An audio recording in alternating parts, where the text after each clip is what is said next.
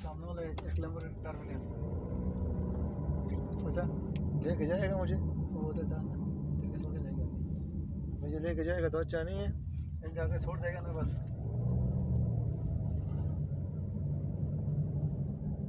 देख हमारी मैंने वीडियो बना लिया।